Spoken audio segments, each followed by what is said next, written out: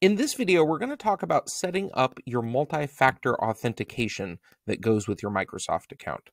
So the next time you log into your account, you may notice that it's looking for some different information.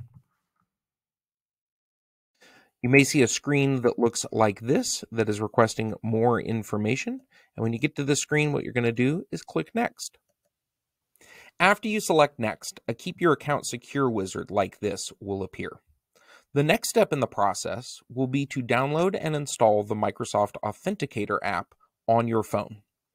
The Microsoft Authenticator app is available in the Google Play Store and the Apple App Store, depending on what kind of device you have. Go to those app stores now, download the Microsoft Authenticator app, and once it's been installed, return to this screen and select Next. The next step is to set up your account on your phone. You'll start by opening the Microsoft Authenticator app on your phone, and if prompted, select to allow notifications. Once open, you'll add a new account to the app, and then select the Work or School account option. Next, you'll select the Scan a QR code option. The first time you use the Authenticator app, you'll need to give it permission to use your camera so it can scan the QR code in the next step. Now that the QR code scanner is ready on your phone, you'll return to your computer and select Next. You can now use the Authenticator app on your phone to scan the QR code on your computer screen, which will connect the Microsoft Authenticator app with your account. If the QR code reader can't read the code, you can select the Can't Scan Image button and manually enter the code and URL into the Authenticator app.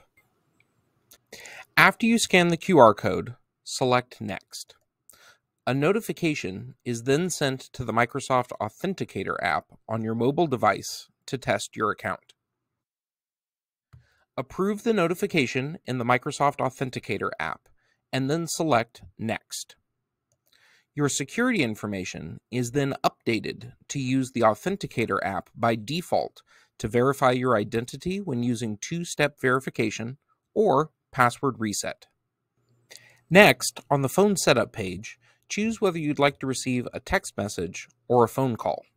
Enter the number you'd like used, and then select Next.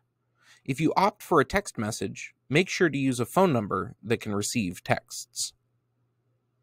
Now, enter the code provided by the text message sent to your phone. Then, select Next. You'll now see a confirmation message that looks like this once you have successfully registered your phone. You can now select Next, and on this final screen, you'll see a success message showing that you've both set up the app as well as a phone backup. Once you've verified that all of your information is correct, you can click Done, and that concludes the setup process for multi-factor authentication.